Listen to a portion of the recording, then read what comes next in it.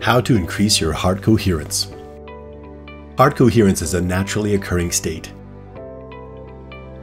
Yet for most, it often comes and goes depending on life situations. Our research shows we can intentionally learn to increase heart coherence. And we have found that one of the most effective ways to facilitate this is with HeartMath's coherence building technology. The HeartMath tech guides you to heart coherence. It measures your coherence level in real time by analyzing your heart rate variability, HRV for short, and displaying your heart rhythm pattern. It's exciting to see how your thoughts and emotions can affect your heart rhythms when practicing techniques that increase heart coherence.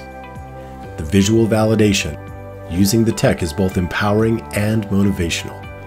This unique experience is incredibly valuable as it trains you to better know what coherence feels like, what increases it, and what may reduce it. Based on years of scientific research, HeartMath was the first to make HRV technology available to the public and has remained the gold standard in HRV technology and coherence training.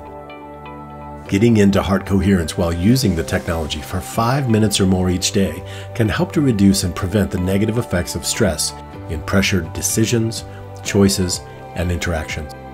People report feeling more centered, composed, and calm from a carryover effect after being in a coherent state for even a few minutes.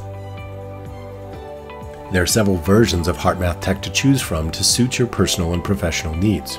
Using this innovative technology along with practicing simple heart focused techniques will allow you to experience the many benefits mentally, emotionally, and physically that increased heart coherence can provide.